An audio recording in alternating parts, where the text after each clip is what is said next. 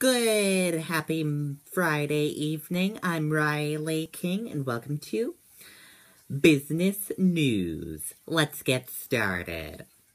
First step, let's take a look at your stock markets and see where they closed at for this evening.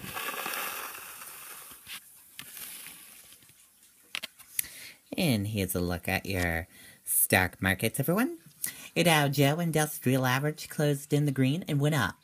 Your S&P 500 index closed in the green and went up. Your Nasdaq closed in the green and went up. RUSS 2K closed in the green and went up, and VIX closed in the red and went down.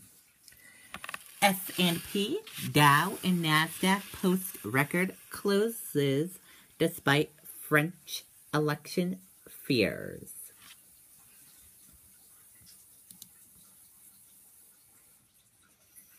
U.S.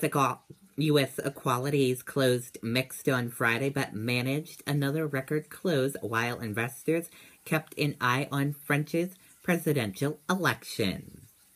That is it for business news right here on the Riley King Network. I hope you all have a great rest of your Friday. Good night, everyone. Bye.